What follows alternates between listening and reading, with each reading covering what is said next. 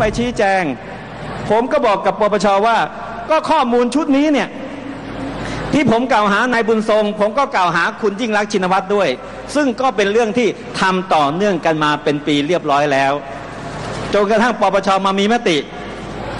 ถอดถอนคุณยิ่งรักษณ์ชินวัตรและกล่าวหาว่าคุณยิ่งรักษณ์ร่วมทุจริตในโครงการรับจำนำข้าว โดยเฉพาะการระบายข้าวแบบ G2G แค่นี้เองพี่น้อง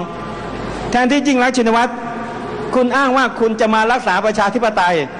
แต่กลับกลายเป็นว่าคุณกังวลและเกรงกลัวต่อกระบวนการตรวจสอบขององค์กรอิสระ โดยเฉพาะปปชและศาลวันนี้เลยต้องย้ำนะครับว่า ยิ่งรักชินวัตรเลยไปไม่เป็นพี่น้องโพสเฟซบุ๊กประมาณสักอาทิตย์เศษๆกล่าวหาว่าปปชตรวจสอบแค่ 21 วัน ย้ำกับพี่น้องที่รักทุกท่านว่า นี่คือการดิ้นของยิ่งรักชินวัตร ที่จะไม่รับอำนาจของกระบวนการตรวจสอบ เพราะว่ายิ่งรักรู้อยู่แล้วว่า ชี้แจงไม่ได้ ตอบไม่ได้ ติดคุกแน่นอนครับพี่น้องครับ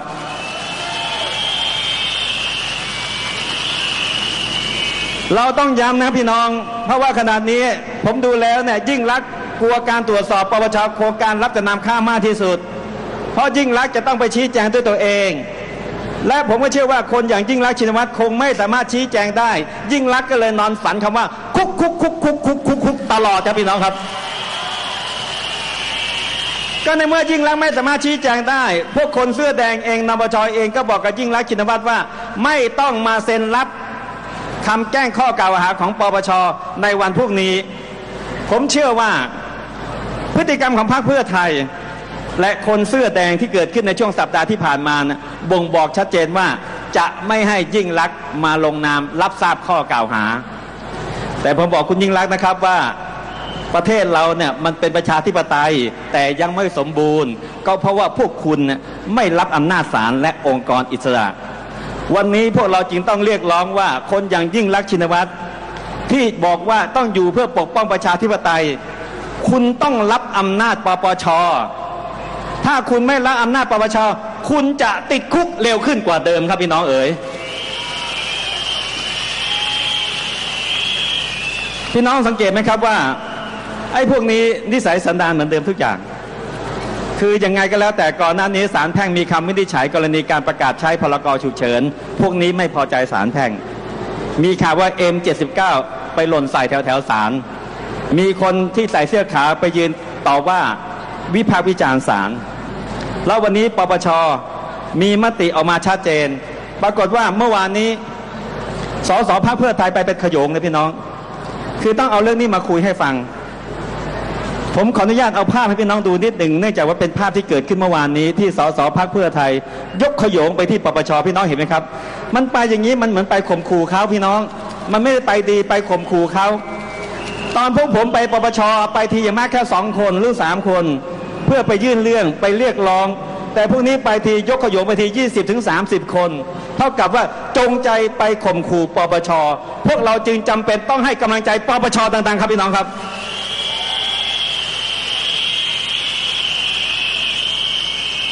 พวกนี้ไปยื่นเรื่องปปชให้ตรวจสอบท่านอภิสิทธิ์เวชชาชีวะในโครงการประกันรายได้ วันนี้เรามาเคลียร์กันนิดหนึ่งเพราะถ้าคนไม่เข้าใจสิ่งเหล่านี้อาจจะแปลกใจ เอ๊ะ ทำไมปปชตรวจสอบยิ่งลักษณ์ทำไมไม่ตรวจสอบสมัยอภิสิทธิ์เวชชาชีวะ ผมได้ดูข้อมูลที่คนของสสพักเพื่อไทย ไปเรียกร้องให้ปปชตรวจสอบโครงการประกันรายได้สมัยอภิสิทธิ์เวชชาชีวะ ปรากฏว่าข้อมูลและหลักฐานไม่มีเลยพี่น้อง มีแต่ข้อกล่าวหาลอยๆ บอกว่า สมัยอภิสิทธิ์เวชชาชีวะทำโครงการประกันรายได้ ปล่อยให้พี่น้องชาวนาโกงคำถามถามว่า อะไรที่เป็นหลักฐานที่ปล่อยให้พี่น้องชาวนาโกง ไอ้พวกสสเพื่อไทยก็พูดมาลอยๆว่า พี่น้องชาวนามีการลงทะเบียนในพื้นที่ที่ทำนามากกว่าเป็นจริง มันอ้างดาวเทียมจิสดาแล้วบอกว่าดาวเทียมจิสดาได้สำรวจพื้นที่แล้ว ปรากฏว่าพื้นที่ทำนามีจำนวนหนึ่งแต่ปรากฏว่ามีคนชาวนาที่มาลงทะเบียนมากกว่าพื้นที่ที่ทำนาจริง ๆ ประมาณหนึ่งล้านไร่ มันอ้างลอยๆอย่างเงี้ยพี่น้อง แค่นั้นยังไม่พอ มันยังอ้างบอกว่าชาวนาที่ทำข้าวหอมมะลิ ซึ่งส่วนใหญ่ก็ปลูกข้าวหอมมะลิในพื้นที่ภาคอีสาน แทนที่จะลงทะเบียนว่าเป็นข้าวหอมมะลิ แต่ลงทะเบียนว่าเป็นข้าวเจ้า เพื่อรับเงินส่วนต่างสสเพื่อไทยทำได้แค่นี้พี่น้องทำแค่นี้แล้วไปร้องปปชให้ตรวจสอบเอาผิดอภิสิทธิ์เวชชาชีวะ ผมเลยมีความจำเป็นต้องอธิบายพี่น้องเข้าใจว่า แนะนำเพื่อนที่พักเพื่อไทยที่รักทุกคนฮะเราเป็นอดีตสสเหมือนกัน คุณทำงานนะคุณต้องทำงานอย่างหนัก เก็บข้อมูลให้ชัดเจน และสำคัญต้องชี้ให้ได้ว่า ใครทุจริต ใครโกง โกงอย่างไร ต้องหาหลักฐานมาร้องปปชเหมือนตอนพวกผมทำกันบ้าน ผมทำงานอย่างหนัก ผมมีหลักฐานเอกสารที่เป็น G2G ที่ไม่ใช่ของจริง เส้นทางเช็ค เส้นทางการเดินของเงิน รู้ตัวละครว่าใครทำอะไรที่ไหนอย่างไร อย่างเงี้ยยิ่งรักถึงต้องติดคุกครับพี่น้องครับ แต่คุณมากล่าวหาอภิสิทธิ์เวชชาชีวะ บอกว่าทำทุจริตโครงการประกันรายได้ โดยที่คุณไม่มีอะไรเลยเนี่ยต้องบอกเพื่อนทางทางพรรคเพื่อไทยบอกว่าเอ้ยคุณต้องทำกันบ้านหนักๆแต่เว้ยทำแค่นี้เขาบอกกระจอกมือไม่ถึง อย่างนี้เนี่ยไม่ถือว่าเป็นสอสอเลยถือว่าเป็นกุ้ยไปคุกคามปปชฮะและผมต้องบอกพี่น้องนะครับว่า หลังจากที่พวกนี้พักเพื่อไทย ไปรังควานปปชเมื่อวานนี้ บังเอิญในช่วงเย็นเมื่อวานนี้ ก็มีพี่น้องประชาชนที่อยู่ที่จังหวัดจังหวัดหนึ่งในภาคอีสานส่งเอกสารมาให้ผมทางไลน์ครับพี่น้อง บอกว่า DSI รับลูกพักเพื่อไทย ไปตรวจสอบโครงการประกันรายได้สมัยอภิสิทธิ์เวชชาชีวะ พี่น้องโห DSI หน่อยพี่น้อง และเพื่อให้เห็นเป็นจริงนะครับ เนื่องจากว่ามีพี่น้องของเราที่ภาคอีสานส่งไลน์มาให้ผมขออนุญาตภาพต่อไปนะครับ เป็นหนังสือของ DSI พี่น้องอาจจะอ่านไม่ออกนะฮะแต่ยืนยันว่าเป็นเอกสารฉบับจริง ที่ DSI ส่งไปถึงเกษตรอำเภอในหลาย ๆอำเภอในพื้นที่ต่างๆ และนัดตรวจสอบข้อเท็จจริง โครงการประกันรายได้สมัยอภิสิทธิ์เวชชาชีวะ และโครงการนี้ตั้งแต่สมัยปี 52 ต่อปี 53 พี่น้องครับสามัญสำนึก ตอนคุณเป็นรัฐบาลมาสองปีกว่าทำไมพวกมึงไม่ทำอะไรเลย แล้วเอกสารนี้ DSI ส่งไปถึงเกษตรอำเภอ และให้เกษตรอำเภอน่ะเอาชาวนา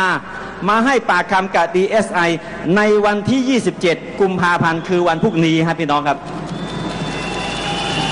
ผมเลยอยากจะบอกไปยังท่านเกษตรอำเภอต้องขอขอบคุณอย่างยิ่งนะครับ ที่ส่งเรื่องร้องเรียนมายังพวกเรา เพราะเขาบอกว่าไอ้พวก DSI มันมีงานต้องทำเยอะแยะมันไม่ทำแต่มันกำลังมาลังควานเกษตรอำเภอเกษตรตำบล และพี่น้องชาวนาในพื้นที่ภาคอีสานครับพี่น้องเอ้ยผมขออนุญาตให้ดูรายชื่อภาพที่สามฮะซึ่งเป็นรายชื่อ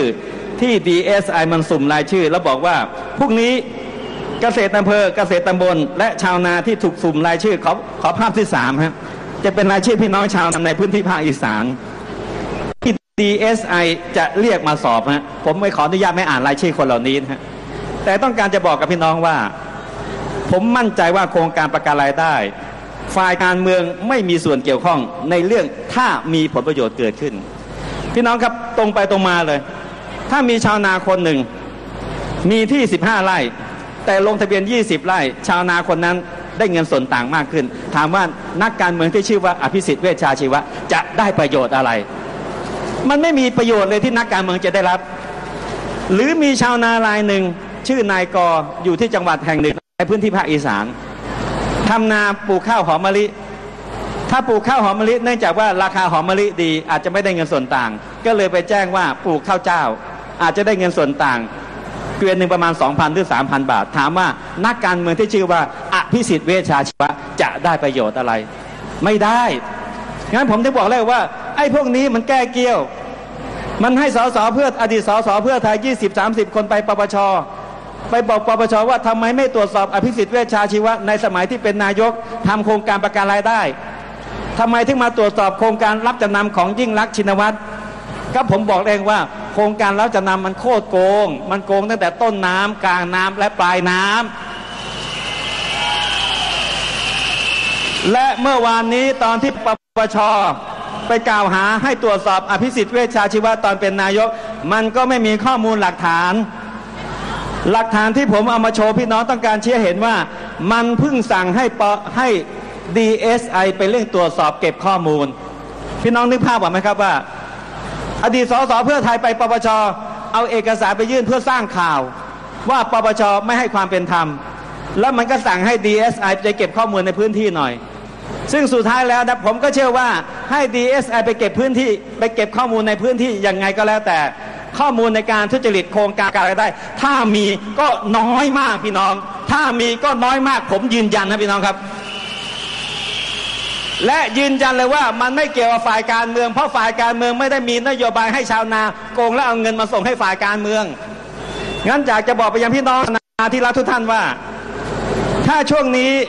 พี่น้องชาวนาพื้นที่ใดจังหวัดไหน ถูก DSI เรียกมาตรวจสอบพี่น้องจำไว้เลยว่า ไอ้พวกพักเพื่อไทย มันบอกให้ DSI ไปรังควานพี่น้องชาวนา พี่น้องอย่าไปยอมแล้วอย่าไปกลัวมันพักเพื่อไทย DSI สมคบกันในการรังควานพี่น้องชาวนา เพื่อหาหลักฐานมาการแกล้งคนที่ชื่อว่าอภิสิทธิ์เวชชาชีวะจำไว้เลยครับพี่น้องครับ คนมันเกเรพี่น้อง คนพยายามอะมันเห็นว่าของมันทำผิด มันก็คิดว่าคนอื่นจะทำผิด แต่หารู้ไม่ว่าโครงการประกันรายได้สมัยอภิสิทธิ์เวชชาชีวะ ถ้ามีการล่วไหลมันน้อยมาก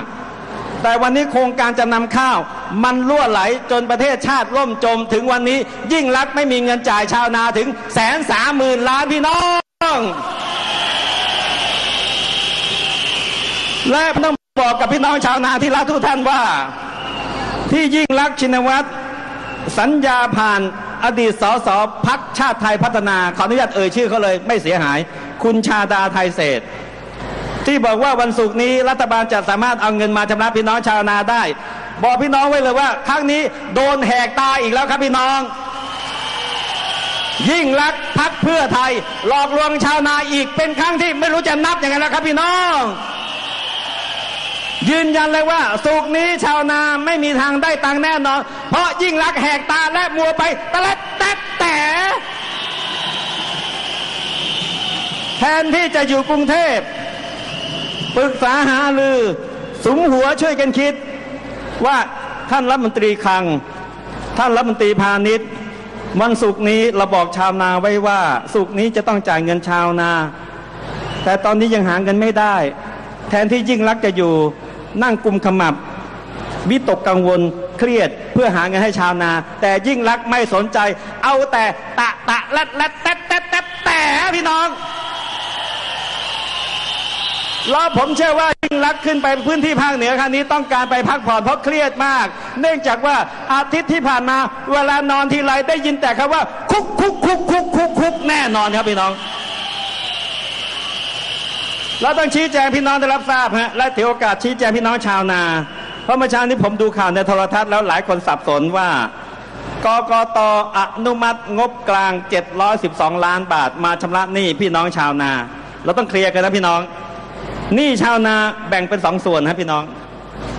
หนี้โครงการปัจจุบันเนี่ยเรียกว่าโครงการนาปี เริ่ม 1 ตุลาคม 2556 จะสิ้นสุดโครงการวันที่ 28 กุมภาพันธ์2557 วันนี้วันที่ 26 อีก 2 วัน โครงการนี้สิ้นสุด วันนี้รัฐบาลรับชาวนาเข้าร่วมโครงการ1ล้าน8แสนครัวเรือน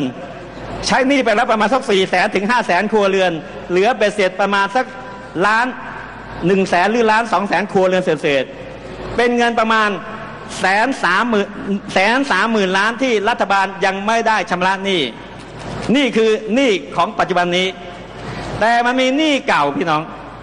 หนี้เก่าที่รัฐบาลเป็นหนี้ตั้งแต่โครงการปี 55ทับ56 มันระยำมากเลยพี่น้อง นู่นตั้งแต่ปี 55ทับ56 จนป่านนี้มันยังไม่ได้ใช้หนี้เขาไอ้หนี้ปี 55ทับ56 ขนาดนี้เป็นหนี้อยู่ 712 ล้านบาท เป็นกลุ่มชาวนาทั้งสิ้น 3,400 ครัวเรือนหนี้ก้อนนี้เนื่องจากเป็นหนี้เก่า และรัฐบาลขอใช้งบกลางที่เหลื่อมมาตั้งแต่ปีที่แล้วกกตก็เลยมองว่า มันเป็นเงินค้างเก่านู่น ไม่ใช่ตอนนี้ และเป็นงบกลางที่รัฐบาลเนี่ยกันเหลื่อมไว้ตั้งแต่ปีที่แล้วแล้วเอามาใช้ตอนนี้กกตก็เลยบอกว่าไม่เป็นไรกกตเลยอนุมัติให้ 712 ล้านบาทเท่านั้น วันนี้จึงอยากจะบอกไปยังพี่น้องชาวนาที่รักทุกท่านว่า พี่น้อง พี่น้องต้องเข้าใจนะครับว่าไอ้712 ล้านบาทน่ะ ไม่ใช่โครงการปัจจุบัน มันเป็นเงินที่รัฐบาลยิ่งรักษณ์เป็นหนี้ค้างปีเก่าตั้งแต่ปี 55ทับ56 ที่กำลังจะชักดาบชาวนา ดังนั้นการที่กกตอนุมัติ อย่าคิดว่ายิ่งรักษณ์หาเงินได้แล้วเอามาใช้หนี้ชาวนายิ่งรักษณ์หาเงินได้แค่ 712 ล้านบาท เอาไปใช้หนี้เก่าที่ค้างตั้งแต่ ปีมะโวดูน ดังนั้นไอ้หนี้แสนกว่าล้านเนี่ยแสนสามหมื่นล้านของปัจจุบันนี้ ที่รับปากจะใช้หนี้ในวันศุกร์ที่ถึงเนี้ยอีกสองวันน่ะยิ่งรักยังไม่มีปัญญาหาเงินมาใช้หนี้เลยครับพี่น้องครับขณะนี้ยิ่งรักกำลังดิ้นหาเงินสามวิธี ให้พี่น้องชาวนาที่รักทุกท่านตั้งใจฟังจะได้รู้ว่ายิ่งรักกำลังจะชักดาบชาวนาอีกแล้ว โกหกชาวนาอีกแล้ว ยิ่งรักษ์กำลังหาทางหาเงินสามก้อน ก้อนที่หนึ่งยิ่งรักษ์กำลังจะเร่งระบายข้าว นี่คือก้อนที่หนึ่งก้อนที่สองยิ่งรักษ์จะขอใช้งบกลางของรัฐบาลชุดปัจจุบัน ซึ่งขณะนี้รักษาการไม่มีอำนาจใช้อีกสองหมื่นล้าน และก้อนที่สามกำลังจะขายตั๋วสัญญาใช้เงิน ที่ภาษาวงการธนาคาร ใช้คำว่าตั๋ว PN มูลค่าประมาณสักเจ็ดหมื่นถึงแปดหมื่นล้านกำลังจะเลิกขายมูลค่าสองหมื่นล้าน นั่นคือแนวทางหาเงินของยิ่งรักษณ์ชินวัตรคำถามถามว่าเงินก้อนไหนที่จะมาได้บ้างเรามาเคลียร์ทีละก้อนกัน เงินก้อนแรก เงินจากการระบายข้าว ผมเห็นนิวัฒน์ทำลง เห็นยันยงพงษ์พยายามบ่งบอกว่าจะเร่งระบายข้าวให้ได้เดือนละหนึ่งล้านตัน ผมว่าไอ้พวกนี้ขี้โม้พี่น้อง มันโม้เก่งจริง ๆ ที่มันบอกว่าเร่งระบายข้าวให้ได้เดือนละหนึ่งล้านตัน แล้วบอกว่าจะมีเงินเข้าบัญชีข้าวประมาณ8,000ล้านบาท พี่น้องเชื่อไหมครับว่าถ้าหนึ่งล้านตันได้เงิน8,000ล้านบาท คุณขายข้าวได้กิโลละ 8 บาท กิโลละ 8 บาทนะฮะพี่น้องถ้าคิดเป็นตันพี่น้องเอาพันคูณก็คือตันละ 8,000 บาทเราคุยกันกิโลละ 8 บาท ฟังช้าๆ จะได้รับรู้ถึงความระยำของไอ้พวกนี้ ข้าวเปลือกรับจำนำมาข้าวเปลือกนะฮะคิดเป็นกิโลกิโล15บาทเพราะตันละหมื่นห้าเวลาสีเป็นข้าวสารต้นทุนของรัฐบาลข้าวสารจะตกเป็น 24,000 บาท ก็คือตกกิโลละ 24 บาท ถ้าพวกค่าบริหารจัดการค่าดอกเบี้ย มันจะกลายเป็นตันละ 28,600 บาท เท่ากับต้นทุนข้าวสารรัฐบาล กิโลหนึ่ง28 บาท 60 สตางค์ แต่เตรียมไว้ขายแค่กิโลละ 8 บาท อย่างนี้เจ๊งยับเยินพี่น้องเอ๋ยผมถึงบอกแล้วว่าถ้าคุณแน่จริง คุณต้องแจงตัวเลขว่าคุณขายให้บริษัทไหน ขายได้ราคาเท่าไหร่ และที่สำคัญที่สุดคือชำระเงินเมื่อไหร่ คนในวงการค้าข้าวแอบโทรศัพท์มาบอกผมว่าไอ้พวกนี้มันขี้โม้ทุกวันเลย มันบอกว่ามันขายได้หนึ่งล้านตันขายได้หนึ่งล้านตันนะแต่กว่าจะชำระเงินและรับข้าวอาจจะประมาณ 3 เดือน 6 เดือน เท่ากับว่าจริง ๆ แล้วยังขายไม่ได้ แต่เอามาคุยโม้ล่วงหน้าไว้นู่น 3 เดือน 6 เดือนโผล่มาเลยครับพี่น้องเอ๋ยและพี่น้องลองคิดดูนะครับ คือเราดีใจถ้าพวกคุณขายข้าวได้ แต่คุณขายแค่กิโลละ 8 บาทแก้วบาท แต่ใครๆก็ขายได้ ไม่ต้องให้คนเป็นระดับรัฐมนตรีมานั่งขายข้าวหรอก ถ้ากิโลละ8บาท9บาท ผมว่าพี่น้องเรานั่งขายนะเผลอๆได้ราคามากกว่าที่รัฐบาลขายเสียอีกครับพี่น้องครับผมเลยบอกนายนิวัฒน์ทำลงรัฐมนตรีพาณิชย์ที่ดูแลอยู่ให้คุณเนี่ยขายเอาข้าวรัฐบาลเนี่ยต้นทุนของพี่น้องเรากิโล 28 บาท คุณขายแค่ 8 บาท 9 บาทอะผมรับอาสาสมัครมวลมหาประชาชนสักคนสองคน ไปนั่งขาวขาย ข้าวแทนรัฐบาล ผมมั่นใจว่าได้ราคามากกว่ากิโลละ 8 บาทพี่น้อง ใช่ไหมพี่น้อง ขณะที่ขณะนี้ตลาดซื้อขายข้าวกันกิโลละ 13 บาท ผมท้านิวัฒน์ทำลงเลย เอาไหมล่ะ ให้พวกเราเนี่ย ผมฟอร์มทีมคณะหนึ่งสามสี่คนพอ ไปดำเนินการขายข้าวแทนรัฐบาล ผมมั่นใจว่าอย่างน้อยขายได้ราคามากกว่าที่รัฐบาลขายวันนี้ แล้วผมมั่นใจว่าพี่น้องหาเงินสดๆให้รัฐบาลได้ด้วย เอาไหมนิวัฒน์ทำลงเอาไหมเอาไหมเอาไหมคือเราต้องการจะฟ้องพี่น้องว่า มันพยายามคุยโม้ขายข้าวเดือนหนึ่งล้านตัน มันบอกจะได้เงินมาแปดพันล้านตกกิโลละแปดบาท เราจับทางมาได้ถูกไอ้พวกนี้มันระยำมาก ขนาดประเทศชาติจะล่มจมชาวนาต้องการได้เงิน มันมาคุยโม้โอ้อวดอย่างนี้ มันขายกิโลละแปดบาท แสดงว่ามันต้องรับเงินใต้โต๊ะพี่น้อง ไม่งั้นมันไม่ถูกขนาดนี้หรอก ผมนี่ประกาศท้าเลยว่าเอาไหมนิวัฒน์ทำลงไอ้ข้าวรอบนี้เนี่ยพวกเราขายแทนพวกคุณ เรามั่นใจว่ารัฐบาลพี่น้องจะได้เงินเข้าประเทศมากกว่านี้ ไม่ใช่ปล่อยพวกคุณขายอย่างนี้เราไม่รู้ขายจริงหรือเปล่า เพราะเห็นคุยโม้มาตลอดเดือนนี้ล้านตันเดือนนี้ล้านตัน แต่ไม่เห็นมีเงินมาจ่ายชาวนาสักทีไอ้ไอ้ไอ้ไอ้อิบอาย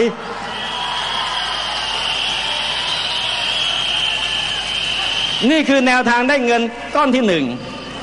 แต่ผมถึงบอกกับคุณนิวัฒน์ทำลง คุณต้องแจ้งให้ได้สิว่า ข้าวที่คุณขายไปเนี่ยคุณขายให้ใคร ตกลงราคาเท่าไหร่ รับข้าวเมื่อไหร่ชำระเงินเมื่อไหร่ แจ้งให้ชัดๆไม่ใช่คุณบอกว่าขายได้หนึ่งล้านตันปรากฏว่ากว่าจะรับค่าอยู่หกเดือนอย่างเงี้ย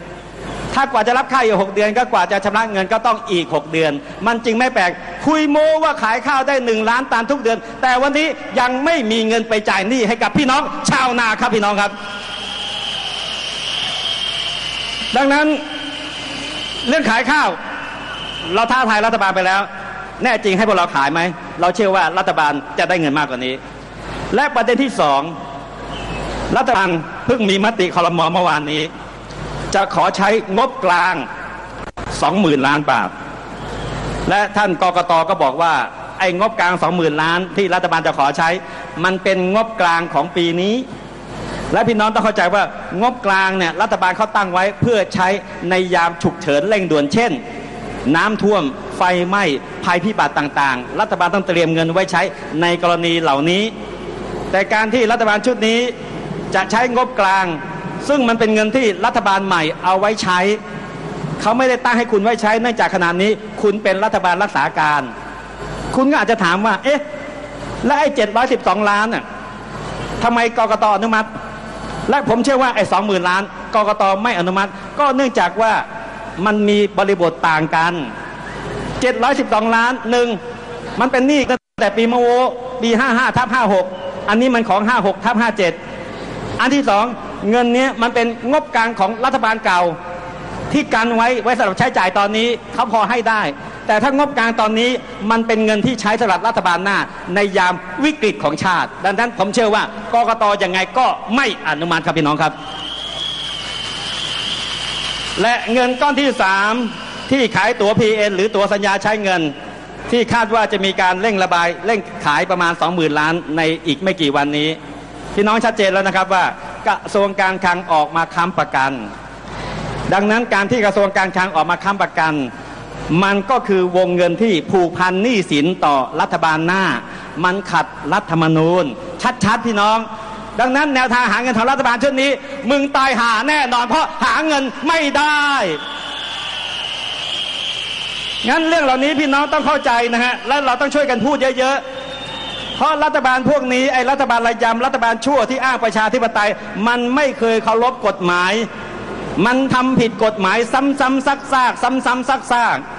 มติคลมในการหาเงินมาจากพี่น้องชาวนา ก็ผิดกฎหมายซ้ำๆซักซากและมันก็จะไม่เข้ารบอำนาจของศาลรัฐธรรมนูญ และศาลตลอดจนปปช นี่หรือรัฐบาลที่อ้างว่าเป็นประชาธิปไตย ขอเสียงโหมันดังอีกครั้งครับพี่น้องครับ พี่น้องที่รักทุกท่าน ขณะนี้กำลังเข้าสู่จุดจบจริง ๆ พี่น้อง วันนี้รัฐบาลมันกลัวปปชจนขี้หด ถ้ายิ่งรักชินวัตรไปผมว่านอนฝันร้ายทุกวันนะเพราะคนอย่างยิ่งรักชินวัตรเจอหลักฐานที่ชัดเจนและรัดแน่นมากไอ้คันจะมาชี้แจงต่อปปชก็กลัวฮะเพราะไม่รู้ว่าจะชี้แจงยังไง เอาแค่ตามข้อกฎหมาย ยิ่งรักชินวัตรตายห่าแน่นพี่น้องครับ เพราะพฤติกรรมของการใกล้ตายของรัฐบาลยิ่งรักชินวัตรพี่น้องสังเกตนะฮะช่วงนี้มันใช้ความรุนแรงมากขึ้น คนที่ใช้ความรุนแรงเท่ากับมันกำลังจะแพ้พี่น้องสามัญสำนึกเหมือนคนสองคนคุยกันด้วยเหตุด้วยผล หลังจากคุยกันด้วยเหตุด้วยผลอีกฝ่ายหนึ่งอะมันเถียงไม่ได้ไอ้คนที่ตัวใหญ่กว่าหรือมีกำลังมากกว่า หรือคนอันธพาลเมื่อมันเถียงไม่ได้ มันก็จะมีการผลักอก แล้วอาจจะมีการชกต่อยกัน แล้วตอนหลังก็มีคนมาจัดการและเรื่องก็จะจบ เหมือนกันฮะขณะนี้เรากำลังต่อสู้ สันติอหิงสากับรัฐบาลระยำวันนี้มันสู้เราไม่ได้ สู้ในข้อแง่ข้อของกฎหมาย มันก็สู้เราไม่ได้ ไปปปชมันก็กลัวเพราะมันนอนสันเขาว่าคุกคุกคุกคุกคุกคุกคุกคุก